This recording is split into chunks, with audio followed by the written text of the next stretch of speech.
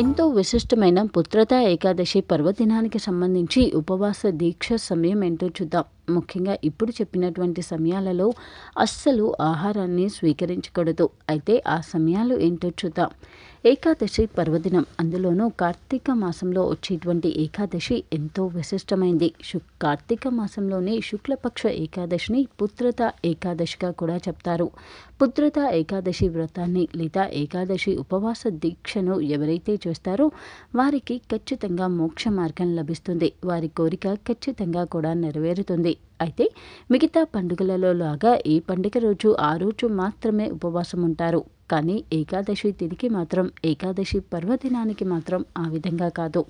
ముఖ్యంగా ఏకాదశి వ్రతం ఆచరించడం లేదా ఏకాదశి దీక్ష చేయాలి అనుకుంటే అంతకు ముందు రోజు అంటే ఆగస్ట్ ఆగస్టు పదవ తేదీ రోజు శనివారం రోజున అందులోనూ దశమి తిథి కలిగిన రోజున ఒంటిపూట భోజనం చేయాలి. దశమి తిథి కలిగిన రోజున మధ్యాహ్నం వరకు మాత్రమే భోజనం చేయాలి. రాత్రి సమయంలో అస్సలు భోజనం చేయకూడదు.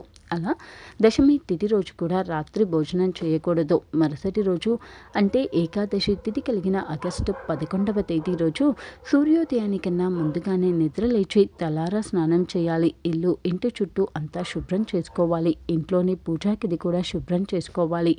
ఇంట్లో నిత్య పూజతో పాటు శ్రీ మహావిష్ణువుకు కూడా ప్రత్యేక పూజ చేయాలి. ఆ విధంగా పూజ ఆచరించిన రోజున అంటే ఈ పుత్రత ఏకాదశి రోజున రోజు మొత్తం కూడా ఉపవాస దీక్ష చేయాలి. అయితే ఈ రోజు రాత్రి వరకు మాత్రమే ఉపవాస దీక్ష ఉంటే సరిపోదు. మరుసటి రోజు అంటే సోమవారం రోజున ద్వాదశి తిథి ప్రారంభానికన్నా ముందుగా భోజనం చేయాలి తప్ప ఆదివారం రోజున భోజనం స్వీకరించకూడదు. అయితే సోమవారం రోజు అంటే ఆగస్టు పన్నెండవ తేదీ రోజున ద్వాదశి తిథి అనేది ఉదయం పన్నెండు గంటల యాభై నిమిషాల వరకు ఉంటుంది. అంటే సోమవారం రోజు ఉదయం నిద్ర లేచిన తర్వాత తలారా స్నానం చేసి ఇంటి దగ్గరలోని గుడిలో ఆ శ్రీ మహావిష్ణువు దర్శనం చేసుకున్న తర్వాత ద్వాజ ద్వాదశి తిథి ప్రారంభం అవ్వడానికన్నా ముందుగా అంటే ఉదయం పన్నెండు గంటల యాభై నిమిషాల కన్నా ముందుగా భోజనం చేయవచ్చు. ముఖ్యంగా మరుసటి రోజు మాత్రమే భోజనం స్వీకరించాలి తప్ప ఏకాదశి తిథి ఉన్న రోజున అస్సలు భోజనాన్ని స్వీకరించకూడదు.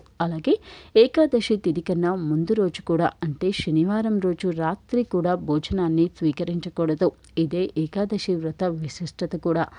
ఏకాదశి ఉపవాస దీక్ష అంటే కూడా ఇదే. పూర్తిగా ముందు రోజు రాత్రి నుంచి మరుసటి రోజు ఉదయం వరకు కూడా ఎలాంటి ఆహారాన్ని స్వీకరించకపోవడమే ఈ పుత్రత ఏకాదశి ఉపవాస దీక్ష. ప్రతి నెల మరియు ప్రతి వారం మీ రాశి ఫలాలు మీరు చేయాల్సిన పరిహారాలు తెలుసుకోవడం కోసం మా ఛానల్ని సబ్స్క్రైబ్ చేసుకోవడం మర్చిపోకండి.